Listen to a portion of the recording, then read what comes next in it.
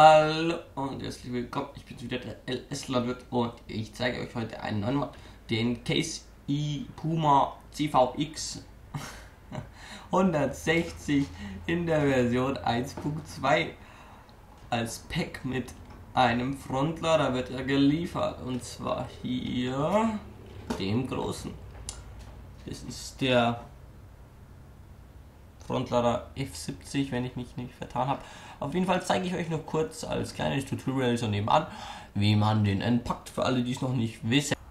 So, und zwar geht ihr hier ähm, auf Dokumente, My Games, Farming Sonette 15, Mods. Ja, und jetzt. Warte mal kurz. Und jetzt müsste es bei euch so aussehen im Ordner, wenn ihr ihn runtergeladen habt. Jetzt müsst ihr rechtsklick alle extrahieren. Extrahieren. So, jetzt könnt ihr den ZIP-Ordner löschen, entfernen, fertig.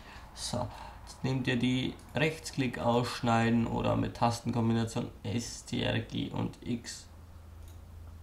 Ähm, und mit SGV oder Rechtsklick einfügen, einfügen den Ordner wieder löschen und jetzt habt ihr dieses Pack ausgepackt und reingeschoben und ja.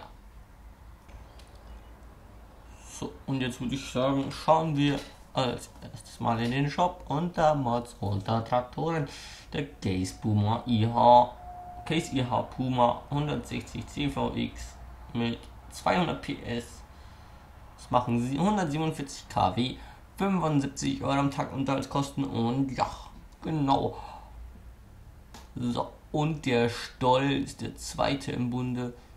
Der Stoll Profi Line FZ ähm, 80.1, das ist halt eine größere Version. Passend zu Case IH Puma, Case Puma 230 CVX Frontlader Version. Das ist ja eine Frontlader Version. Kostet 20 Euro am Tag. Ja. Und zum Vergleich habe ich mir noch den FZ30, das ist der einzige Stollfrontlader von den Standardfahrzeugen geholt. Der kostet 2700 und so weiter. Der passt halt für den kleineren Steiner Multi. Nochmal so als Unterschied. Das sind nicht dieselben. Genau. So, und das ist der Original 160er Puma. Und das ist der Mod.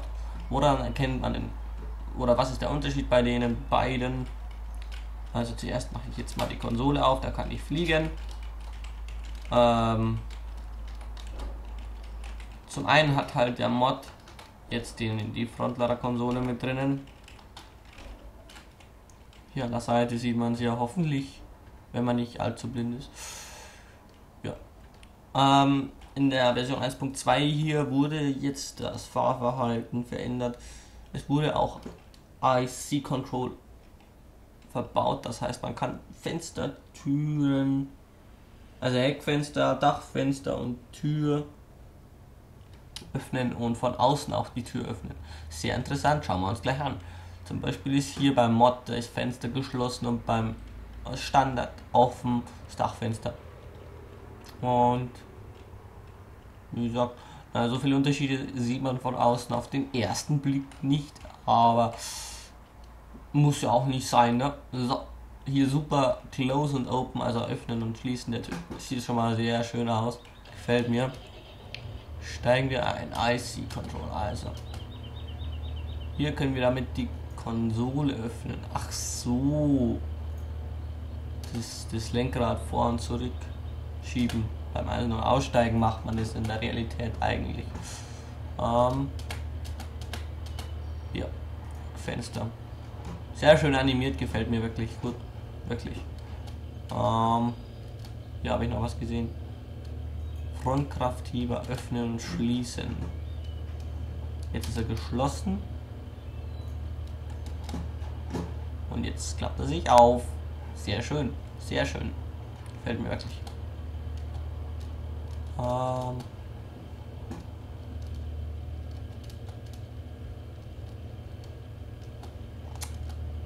genau, das Dachfenster kann man wie gesagt auch öffnen, dann sieht es aus wie beim Original. Oder? Jo, nur noch geiler. Sound gefällt mir. Ähm, Höchstgeschwindigkeit sind. Oh, oh, oh. Mann.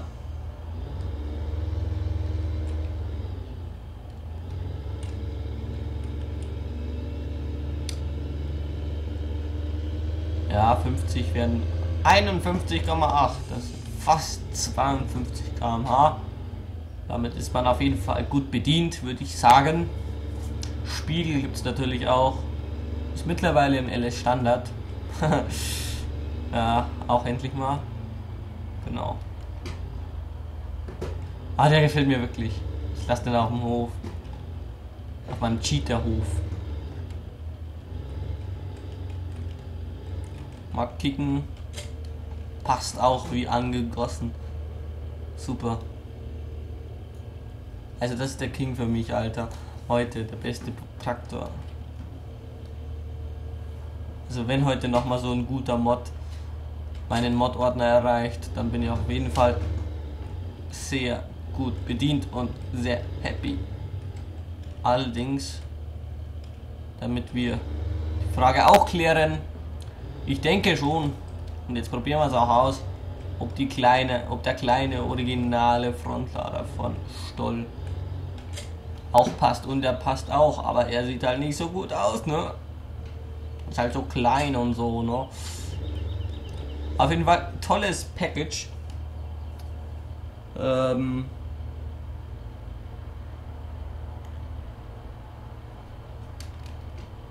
Jetzt steht hier auf der Modhoster-Seite, die Frontkraftheber auch ähm, automatisch an und abgesenkt werden können. War das Deutsch? Ja. Probieren wir gleich aus und hier sieht man auch gleich, kann man mit R die Kotflügel wegmachen. Das finde ich auch sehr geil. Einzeln links und rechts. Also das ist wirklich jetzt mein... Oh, super.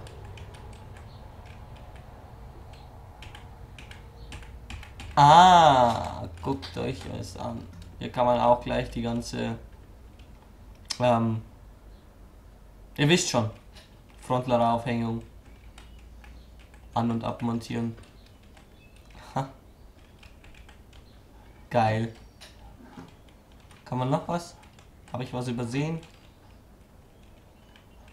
Nee. Auf jeden Fall bester Traktor für heute. Und mit diesem Monster verabschiede ich mich nun. Und bis zur nächsten Mal-Vorstellung. Haut rein! Download wie immer in der Beschreibung. Und vergesst nicht den Mod zu bewerten. Der hat immerhin schon 5 Sterne von 5. Oh.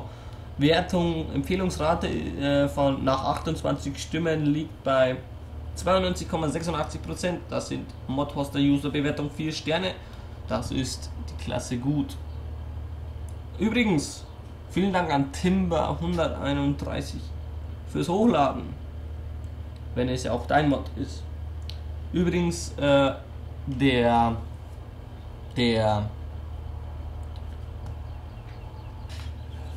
neulich von mir getestete Jeep oder wie ich es auch genannt habe, das schnellste Auto im LS von Mecha, wurde mir gesagt, dass das nicht von ihm ist, sondern dass das von einer anderen Plattform stammt, beziehungsweise von einem anderen Modder.